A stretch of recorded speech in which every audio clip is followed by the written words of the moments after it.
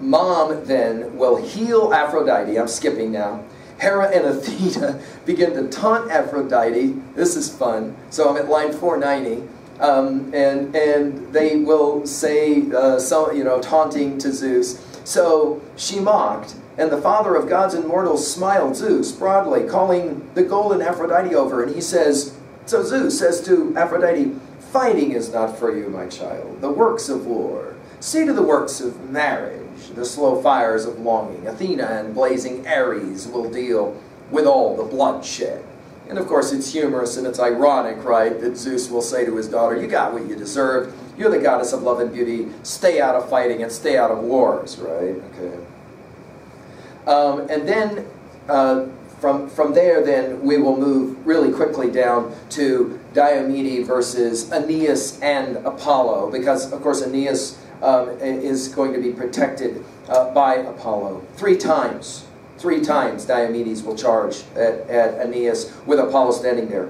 I'm at line five, uh, 503. Frenzy to bring him down. Three times Apollo battered his gleaming shield back. Then at uh, Diomedes' fourth assault, like something superhuman, the archer Apollo, who strikes from worlds away, shrieked out a voice of terror, Think, Diomedes, shrink back now, enough of this madness, striving with the gods. We are not of the same breed, we never will be, the deathless gods and men who walk the earth.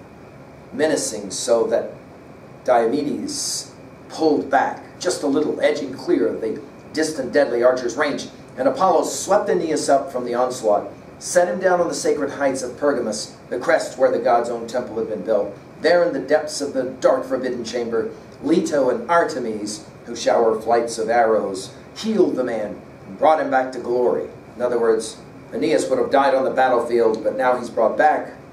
Of course, that's significant if we know anything about the Aeneid, and we'll get there later, won't we? But the Lord of the Silver Blow, Bow, Apollo, devised a phantom like Aeneas to the life. Wearing his very armor, and around that phantom, Trojans and brave Achaeans went at each other, hacking the oxhides round their chests, the bucklers full and round, skin shields, tassels flying. But Phoebus Apollo called to blazing Ares, Ares, Ares, destroyer of men, reeking blood, stormer of ramparts, can't you go and drag that man from the fighting, that daredevil Diomedes? He'd fight Father Zeus. He's just assaulted love, Aphrodite. He stabbed her wrist like something superhuman. He even charged at me. At this point, Ares will then spur on the Trojans, and we will then have the great hero Sarpedon at line 540. As Ares whipped the fighting spirit in each man, Sarpedon, a Trojan, taunted Hector, and I told you this happens, right? Hector where has it gone? That high courage you always carried in your heart. No doubt you bragged that you could hold your city without an army and Trojan allies all on your own, just with your sister's husbands and your brothers. But where are they now? I look. I can't find one. Hector is motivated. Aeneas is healed and returned back to the battle. Back to the battle we go, and we will then have Odysseus ready, along with Diomedes, to start to fight, right? Um, uh, together, right? Agamemnon, however, is going to motivate the men. He says at line 610, Now be men, my friends. Courage, come, take heart.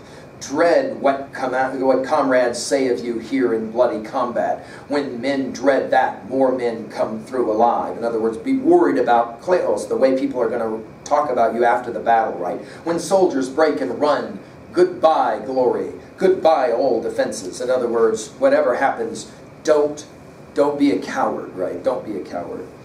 Well, um, we then will have um, uh, with Agamemnon his kill, his comments as well, um, um and, and, Aeneas will also have kills as well to uh, a couple, a pair of twins. Menelaus will have a kill, Antilochus will have a, a kill with more rock throwing, and then Diomedes will see Hector with Ares. And then we'll have a series of his kills.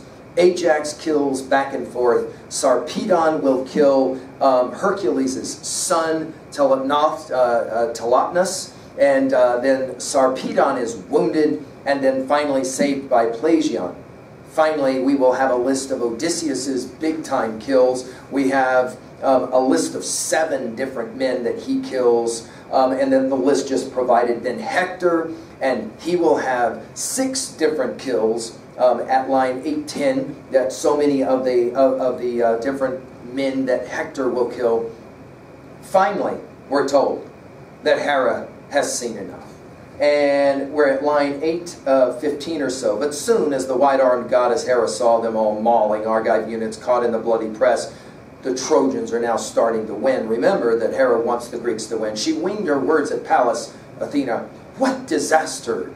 Daughter of storming Zeus, tireless one Athena, how hollow our vow to Menelaus that he would sack the mighty walls of Troy before he sailed for home if we let murderous Ares rampage on this way. Up now!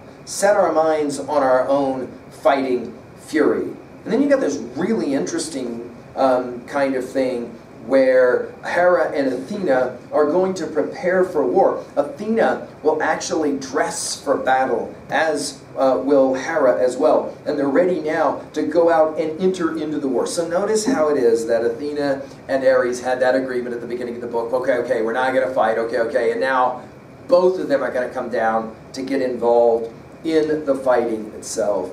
We have this very interesting, ironic speech uh, at line uh, 865 or so, where Hera will speak, white armed Hera, called out at once to the powerful son of Kronos, pressing home her questions. And now she's going to speak to her husband.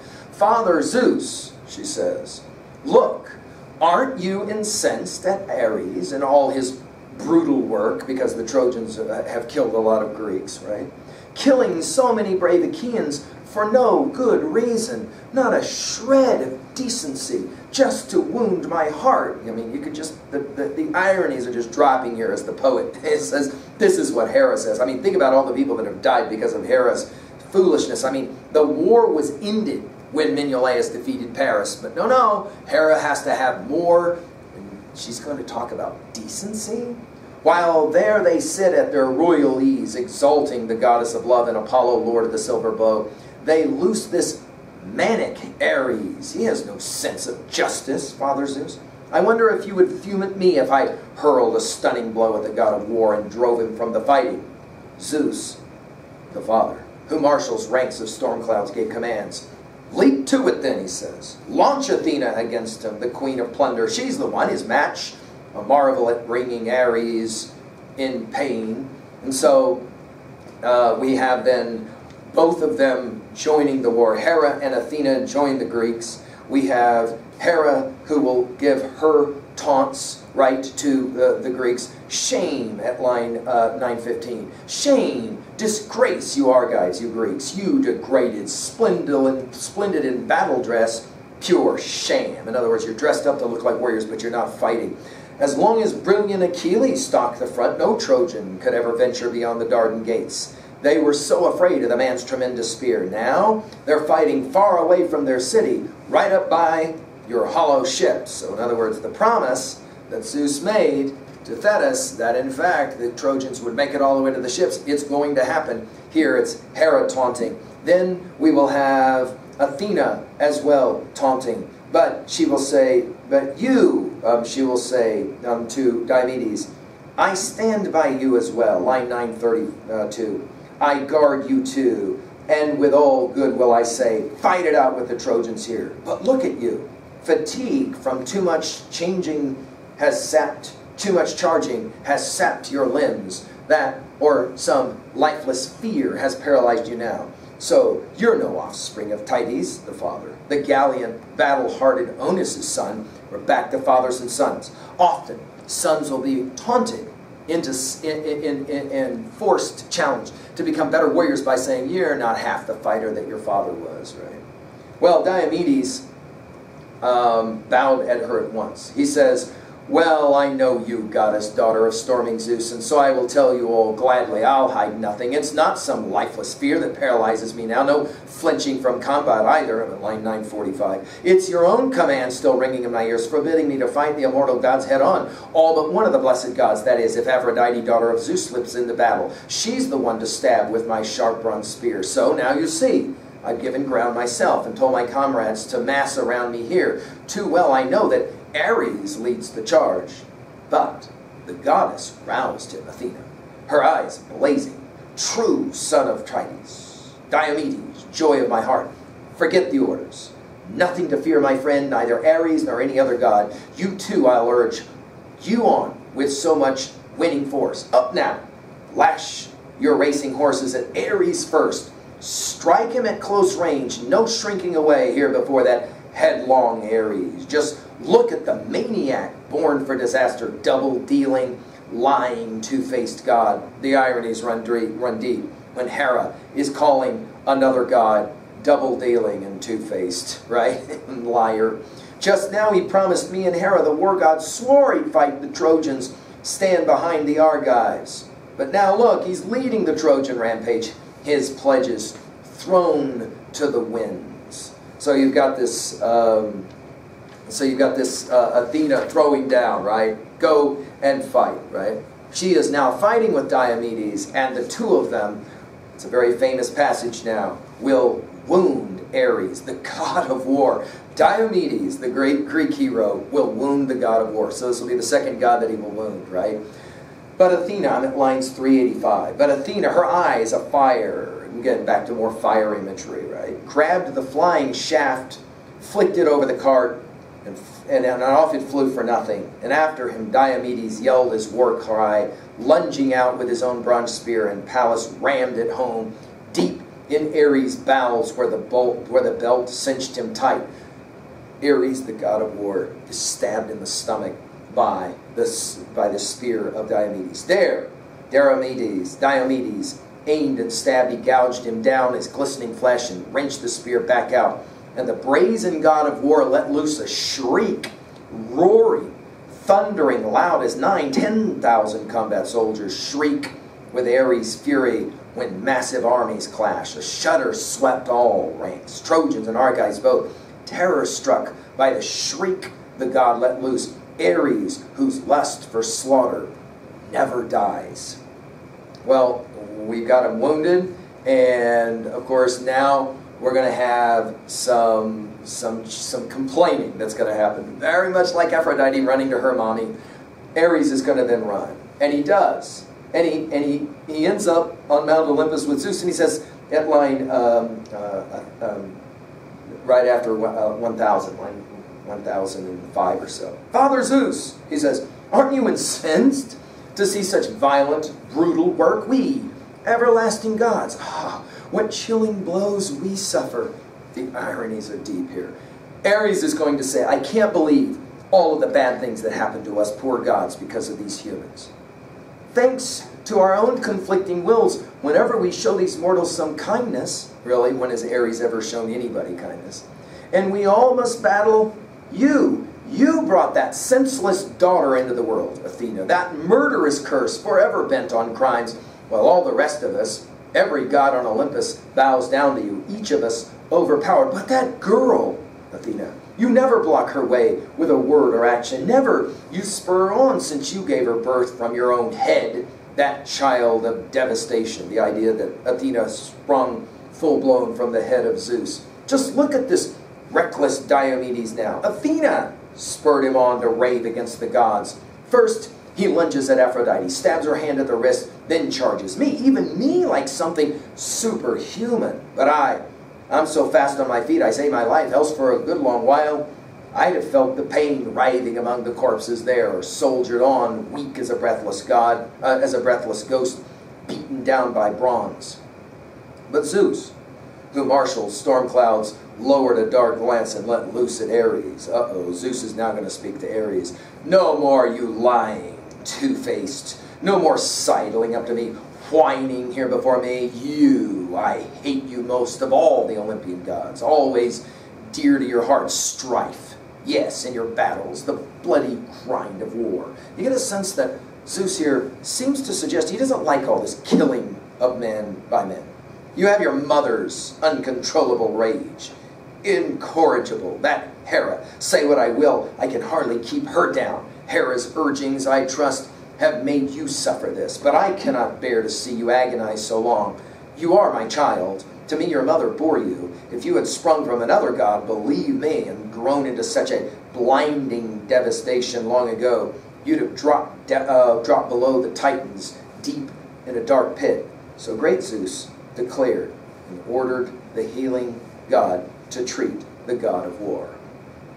And at the end, then, we end up with Hera and Athena coming back to Mount Olympus, deciding that enough is enough. And that's how Book 5 will end.